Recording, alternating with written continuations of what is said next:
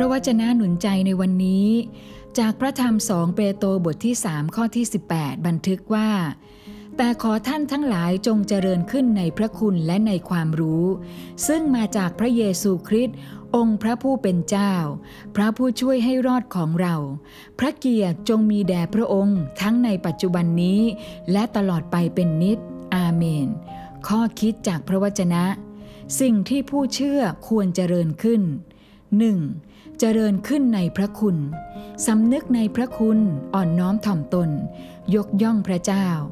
ยิ่งสำนึกในพระคุณจะยิ่งเห็นพระคุณของพระเจ้ามากขึ้น คนที่หมิ่นพระคุณมักจะไม่ค่อยได้เห็นพระคุณของพระเจ้า 2. เจริญขึ้นในความรู้ของพระเจ้า รู้อะไรก็ไม่เท่ารู้จักพระเจ้า ความรู้ในโลกจำเป็นสำหรับโลกนี้เท่านั้น แต่ความรู้ของพระเจ้าจำเป็นทั้งโลกนี้และโลกหน้า ขอพระเจ้าอวยพรค่ะ